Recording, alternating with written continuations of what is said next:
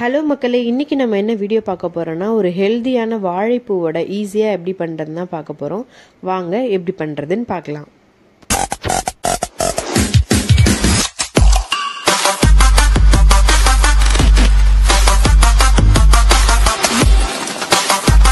இப்போ இதை செய்யறதுக்கு தேவையான பொருட்கள் என்னன்னு பார்த்துடலாம். ஒரு வாழைப்பூ வந்து சின்னதாக கட் பண்ணி தண்ணியில் போட்டு வச்சுருக்கேன். அப்புறம் இரநூறு கிராம் கடலைப்பருப்பு ஊற வச்சுருக்கேன். ஒரு ஏழு பல் பூண்டு ஒரு பச்சை மிளகா ஒரு ஸ்பூன் சோம்பு ரெண்டு பெரிய வெங்காயம். அப்புறம் கொஞ்சம் கொத்தமல்லி கருவேப்பிலை கட் பண்ணி வச்சுருக்கோம். இப்போது இந்த வாழைப்பூவை எப்படி க்ளீன் பண்ணி கட் பண்ணுறதுன்னு பார்க்கலாம். ஃபஸ்ட்டு இந்த மேலே இருக்கிறத வந்து நீங்கள் கட் பண்ணி எடுத்துருங்க. அப்புறம் இதில் ஒவ்வொரு இலையாக வந்து நம்ம பிரித்தோன்னா இதுக்குள்ளே வந்து நமக்கு பூ இருக்கும். அந்த ஒவ்வொரு பூவையும் நம்ம வந்து எப்படி க்ளீன் பண்ணுறதுன்னு இப்போ பார்க்கலாம் இந்த பூவெல்லாம் வந்து நீங்கள் ஃபஸ்ட்டு தனித்தனியாக எடுத்துருங்க.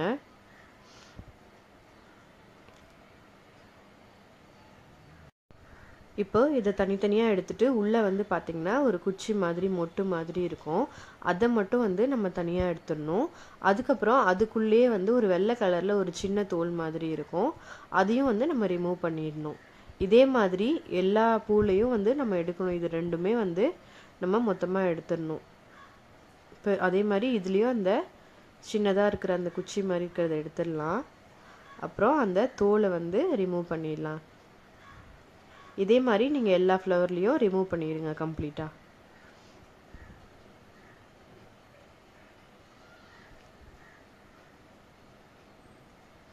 இப்போது இது எல்லாத்தையும் வந்து நம்ம க்ளீன் பண்ணி எடுத்துட்டோம். இப்போ இதை எப்படி கட் பண்ணுறதுன்னு பார்க்கலாம்.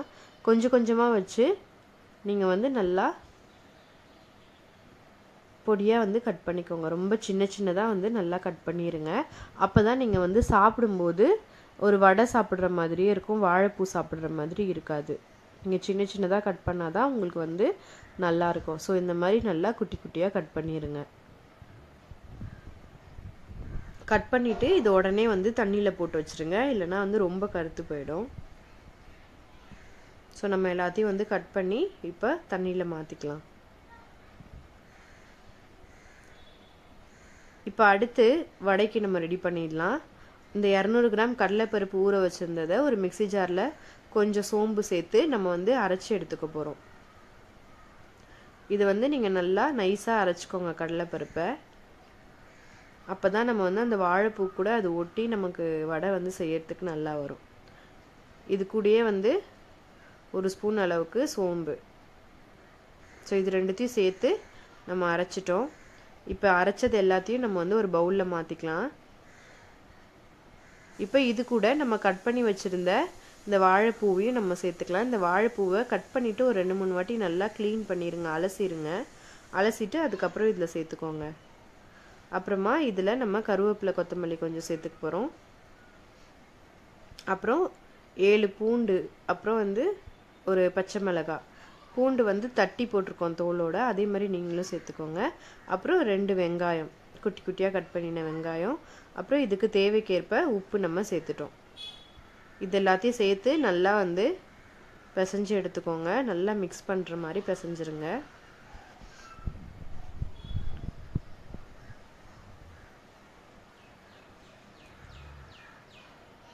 இதில் கொஞ்சம் கூட நம்ம தண்ணி சேர்த்துக்கலாம். ரொம்ப உதிரியாக இருந்துச்சுன்னா நீங்கள் கொஞ்சம் தண்ணி சேர்த்துக்கோங்க.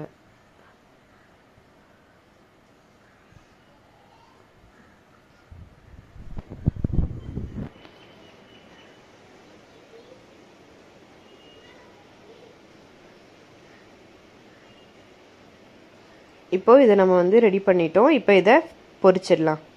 அதுக்கு நீங்கள் கடாய் வச்சுட்டு அதில் பொரிக்கிறதுக்கு தேவையான அளவு நம்ம வந்து எண்ணெய் ஊற்றிக்கலாம் எண்ணெய் நல்லா ஹீட் ஆனதுக்கப்புறமா நீங்கள் இதை வடை ஷேப்பில் வந்து தட்டி எண்ணெயில் போட்டுக்கலாம். ஒன்று ஒன்றா சேர்த்துக்கோங்க.